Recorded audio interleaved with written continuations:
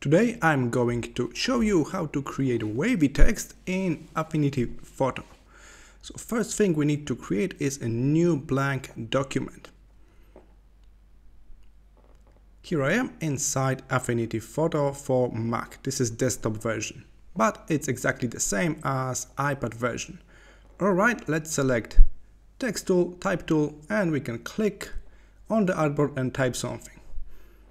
Then we can simply select the text, we can make it larger by transforming the whole text box.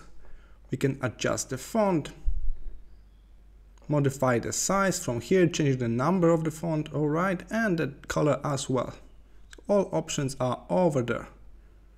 But this is just a simple text, not wavy one. To create a wavy one, we need to use pen tool first and draw a path for the wavy text.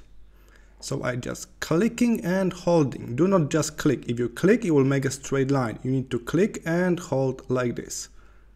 Alright, we got some kind of path for our wavy text ready. We can modify that later on as well. Take a look. I can use node tool and modify the curve here in any moment. This will be invisible after I add text on it so I can temporarily add some outline to it so we can see it exactly. So let me just do that for a moment. Here it is.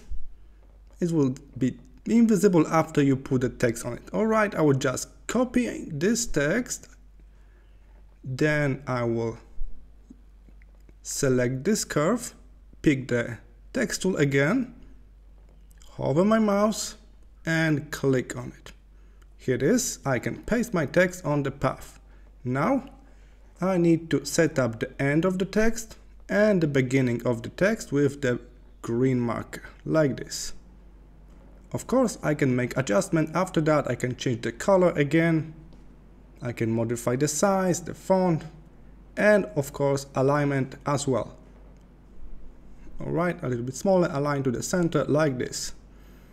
Not only that, we can modify the curve after we add the text. So I can pick a node tool and I can modify the curve and the text will follow.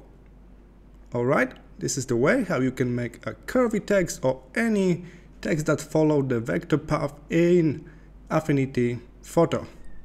For more tutorials, subscribe to my YouTube channel. See you in the next one.